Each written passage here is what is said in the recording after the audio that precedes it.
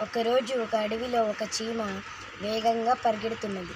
దాని చీ చీమకు ఒక ఎలుక ఎదురొచ్చి చీమా చీమ ఎందుకంత వేగంగా పరిగెడుతున్నావు? అని చీమను అడిగింది ఎలుక. చీమ అప్పుడు ఇలా అంది.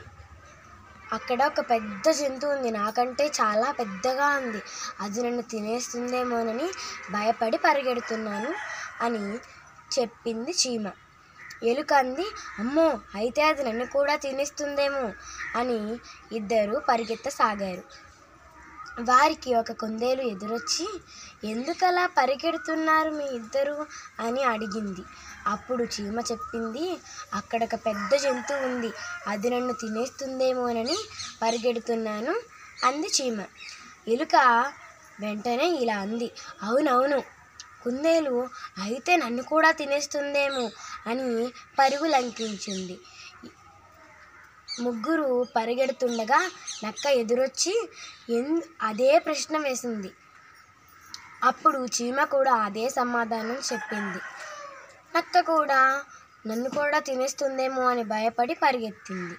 అలా కొంత దూరం వెళ్ళాక నక్కకి ఆయాసం వచ్చి ఇక నేను పరిగెత్తలేను.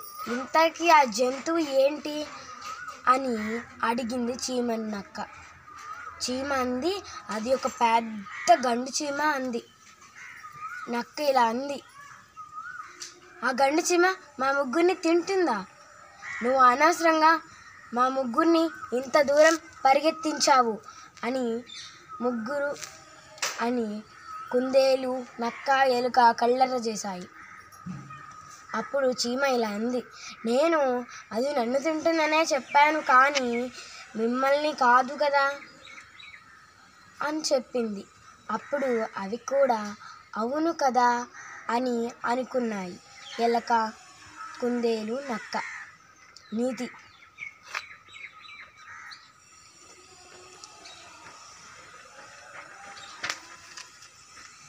ఇతరులు భయపడుతున్నారని కారణం తెలుసుకోకుండా మనం భయపడడం అవివేకం. వివేకవంతుల లక్షణం ఏమిటంటే ఎంత పెద్ద ఆపద వచ్చినా ధైర్యంతో తెలివితో ఢీకొట్టాలి ఎదుర్కొనాలి. పారి తప్పించుకోవడానికి కూడా తెలివైన ఆలోచన